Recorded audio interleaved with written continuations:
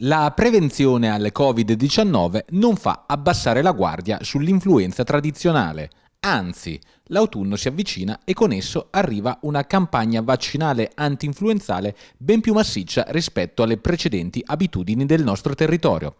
La campagna partirà il 2 ottobre con 94.000 dosi di vaccino anti-influenzale già ordinate per tutta la provincia. Numeri che dicono come i vaccini in arrivo siano 30.000 in più rispetto ai circa 60.000 dello scorso anno.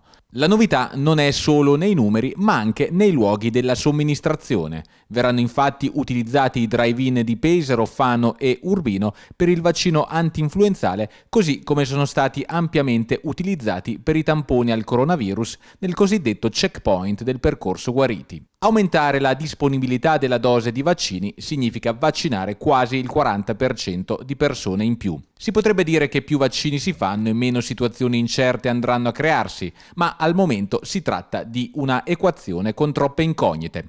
I dubbi fra influenza e Covid ci sono e continueranno ad accompagnare la nostra quotidianità, soprattutto nel super monitorato ambito scolastico.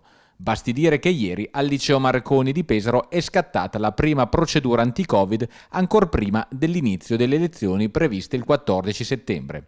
Ad un ragazzo che si è presentato per svolgere i corsi di recupero è stata infatti rilevata la febbre a 38 gradi dopo la misurazione col termoscanner all'ingresso dell'istituto.